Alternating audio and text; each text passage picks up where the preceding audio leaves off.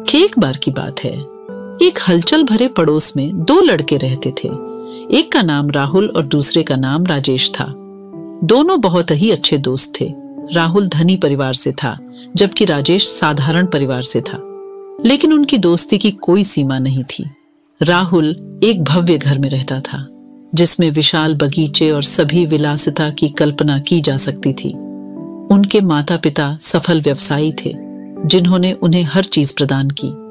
दूसरी ओर, राजेश अपने माता पिता के साथ एक छोटे, आरामदायक घर में रहता था। उन्होंने मेहनत की और मामूली साधनों से अपना गुजारा किया।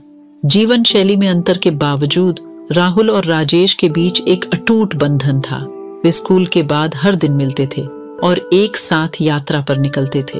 चाहे वह जंगल घूमना हो, पतंग उड़ाना हो या बस कहानियाँ सुनाना हो उनके दिन खुशी से भरे होते थे।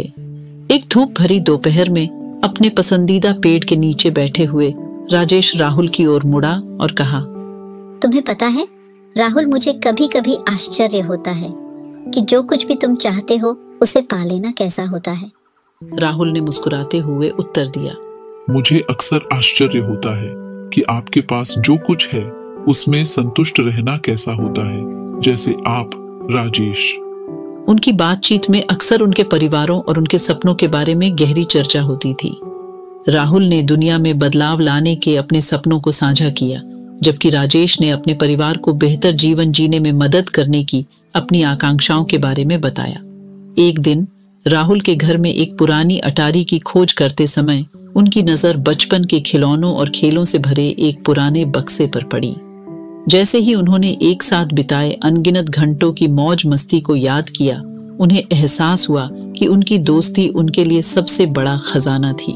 साल बीतते गए और राहुल और राजेश बड़े होते गए।